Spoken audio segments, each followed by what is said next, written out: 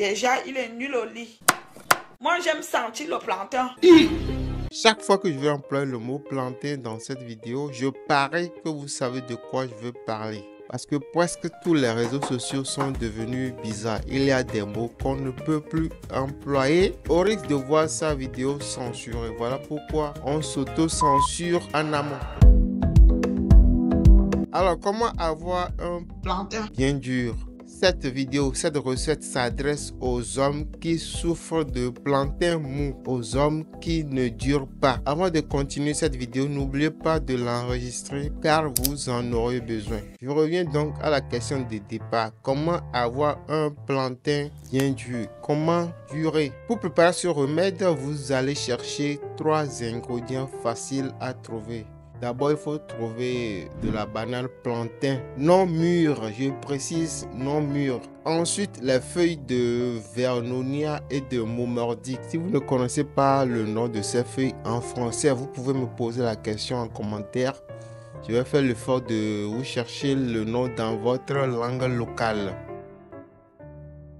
Ces deux plantes sont très très intéressantes parce qu'elles interviennent déjà dans le traitement de beaucoup de maladies comme le diabète et l'hypertension. Ces deux maladies sont souvent responsables du plantain mou.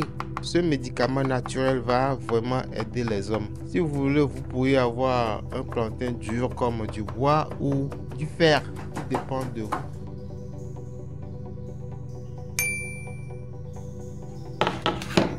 Une fois les ingrédients bien découpés, bien vous les séchez à l'ombre pour quelques jours. Essayez de réduire en poudre les ingrédients séchés. Vous pouvez le faire dans un mixeur ou dans un mortier. Dépend des moyens dont vous disposez. Le plus important, c'est d'avoir le produit final en poudre bien fine. Comment donc consommer ce produit? Chaque jour, vous mettez environ une cuillère à café dans de la bouillie chaude ou dans l'eau tiède. Vous buvez. C'est tout. Vous pouvez faire ça deux fois par jour. Cela ne pose aucun problème. Ce genre de traitement euh, dur, ça doit faire euh, au moins deux semaines pour vous traiter, pour vous guérir. C'est un traitement, ce n'est pas un stimulant. Donc prenez le temps de bien consommer le produit tous les jours, au moins pendant deux semaines. Et vous verrez des changements très très très positif. Likez et partagez cette vidéo avec vos proches. Abonnez-vous pour recevoir plus d'astuces de ce type.